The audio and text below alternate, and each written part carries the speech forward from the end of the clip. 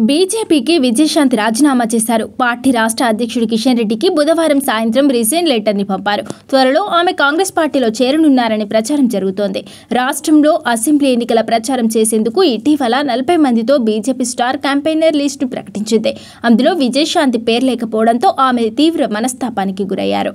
జరిగిన తప్పును గుర్తించిన బీజేపీ రాష్ట్ర నాయకత్వం స్టార్ క్యాంపెయినర్గా ఎమ్మెల్యే రఘునందన్ రావుతో పాటు విజయశాంతిని నియమిస్తున్నట్లు మీడియాకు ఒక ప్రకటన విడుదల చేసింది. అయినా ఆమె సంతృప్తి చెందలేదు. దీంతో పార్టీ కార్యక్రమాలకు దూరంగా ఉంటూ వస్తున్నారు. ఈ క్రమంలోనే బీజేపీకి విజయశాంతి రాజీనామా చేసినట్లు సమాచారం.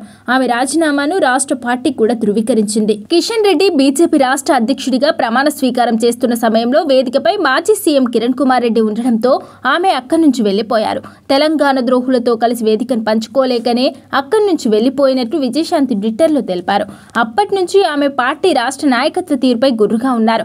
గత కొన్ని రోజులుగా బీజేపీకి వ్యతిరేకంగా వరుస ట్వీట్లు చేస్తూ అసంతృప్తిని వ్యక్తం చేస్తున్నారు. అయితే ఈ నెల పదకొండున అనగారిన వర్గాల విశ్వరూప మహాసభకు హైదరాబాద్ వచ్చిన ప్రధాని మోదీకి బేగంపేట ఎయిర్పోర్ట్లో విజయశాంతి స్వాగతం పలికారు.